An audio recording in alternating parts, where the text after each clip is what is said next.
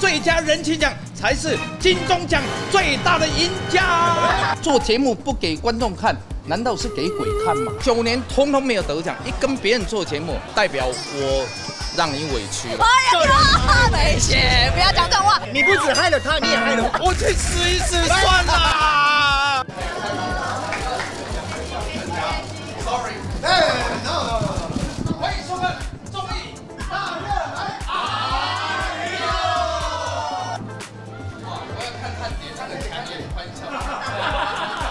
恭喜露露得奖！耶！那这样点点怎么办呢？没有问题的，但是我们会再接再厉。没有，怎么可能传脏话？我很恭喜啊，我叫的很开心，好像我自己得奖我们我们真的是彼此相爱。我一下来传的第一个讯息是汉典跟选哥。然后我也跟那个娇娇致意了说，不好意思，讲你们节目怎么怎么，我已经致意说 I'm sorry，但是已经无法挽回颓势。大概的话呢？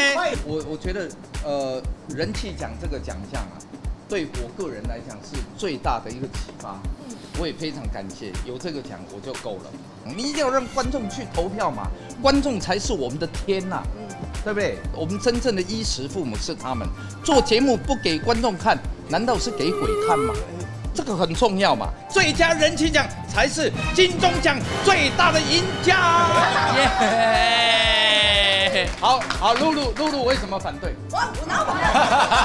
干嘛？对，这次真的非常谢谢大家，真的是我们一票一票拉出来的。这边很感谢我老婆，最后一天还帮我们真的是直播冲一下票，真的真的真的非常感谢大家。对对对来，然后也要感谢就是来过的，就是所有的这艺人朋友们，然后因为他们都很挺我们，嗯所以他们也有就是陆续帮我们拉票转发所以这对这个奖真的是属于大家的然，后谢谢大家，所以我们要真心的跟我们所有观众朋友说一声，我爱你们，爱你们爱你们，观众朋友，谢谢你们。但大热门的，我帮他们讲几句话。对我在这里郑重的让下一届的评审拿出良心来。综艺大热门这个节目是台湾唯一剩下来的传统综艺，没有了。但是这个才是台湾文化最主要的主轴，到底懂不懂？没事。谢谢。他要他们。只赢小 S 他们一票，意思说我们连第二名都没有，这样太危险。你不要听，你不要听。一个隐喻啦。你看，你跟我做大热门，九年通通没有得奖，一跟别人做节目，然后跟大热门还同场竞逐，大热门挂掉了，代表我让你委屈了。哎呀，没钱，不要讲这种话。你不要讲，你一定是我害了你，露露，你早就该得奖没。有啦，宪哥，你不要这样讲了。你不止你你你不止害了他，你也害了我。这样太危险。我我去死一死算了。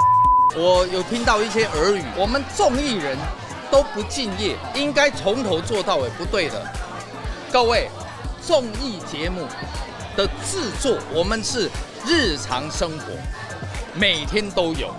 但是戏剧节目，很可能这个导演今年只导了这一部，你不从头做到尾，你要做到哪里？我们是这么多个节目，我没入围这一项的，我去关心这一项谁得奖吗？我们不是对他能感，我没得奖，痛苦的要命，所以不要误会。然后呢，套一句老话讲不管谁得奖，谁入围，谁谁得奖，我们谁都高兴。我还是要强调，综艺跟戏剧是不能分开的，因为这一个奖不叫金钟奖，哎，这叫电视金钟奖。告诉你哦，你脖子够硬了、你就干脆哦，明年都不要改。